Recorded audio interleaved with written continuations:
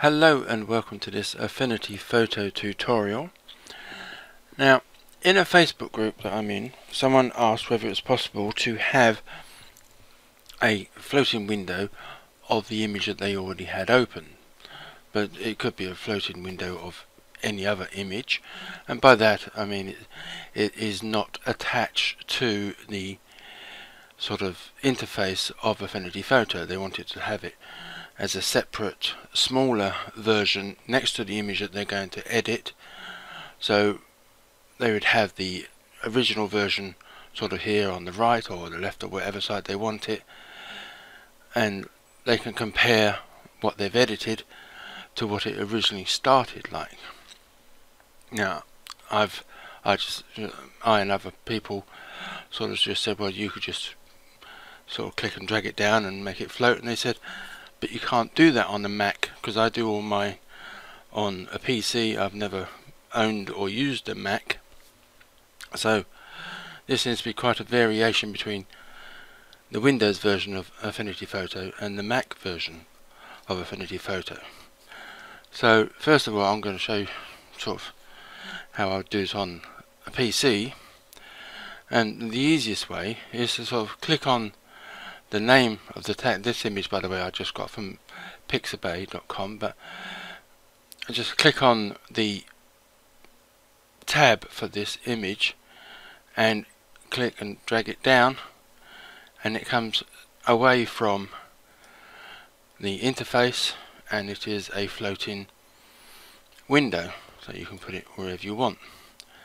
And if you just bring it back to the top and when you get it goes blue and you release it will become back part of the main interface. So let me just make a copy of this layer. So I'll do copy and then file and new from clipboard. So I now have two images open both with the same image. This being the copy image I will click and drag this down so it is floating and then it's just a case of resizing it to whatever size you want want it to be. Let's, let me just bring this in a bit more like that.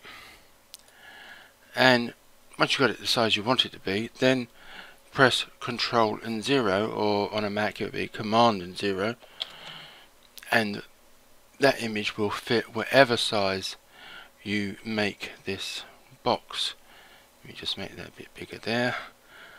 Control and zero and that will fit the box that it is floating in. So that is the original version that this person wanted to sort of have as a comparison next to the version they're going to edit. So you do need to make sure you are back on the tab or you know the tab that's attached to the interface before you make edits otherwise you'll be editing this version. So say for example you wanted to make it black and white you can add the black and white um, adjustment and sort of make a few adjustments. And as you can see you can now easily compare the one I'm editing to the original version which is the copy.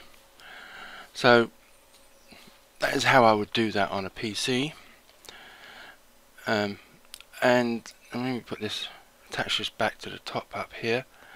So again we've got the two versions. Now I mean I like I said I've never used a Mac but I'd be very surprised if you just can't click and drag. Hang on where is it? Click and drag a, like that and make it a floating window. But I assume that it can't be done because this person said that that couldn't it didn't work that way. Now there's also in the Windows version there is in the Windows menu you click on that and you got the option float and float all.